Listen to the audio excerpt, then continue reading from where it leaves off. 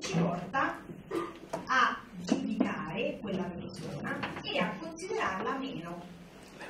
Cioè, siccome sei un uomo sensibile che al lavoro eh, magari mh, mm, ti può emozionare davanti a una cosa o magari riesce a parlare di argomenti che non sono solo il calcio, sei meno uomo secondo quello stereotipo di maschio che invece deve giocare a pallone, saper eh, sistemare la macchina, essere attratto dai motori, pensare che le donne sono tutte lì ai nostri piedi, eccetera.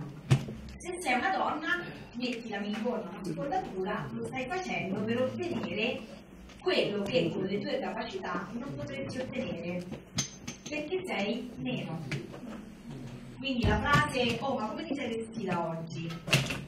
Che vai a rimorchio, che vuoi fare colpo sul capo. Ehm, può, è una frase che io ho sentito più volte, sia diretta a me che diretta agli altri.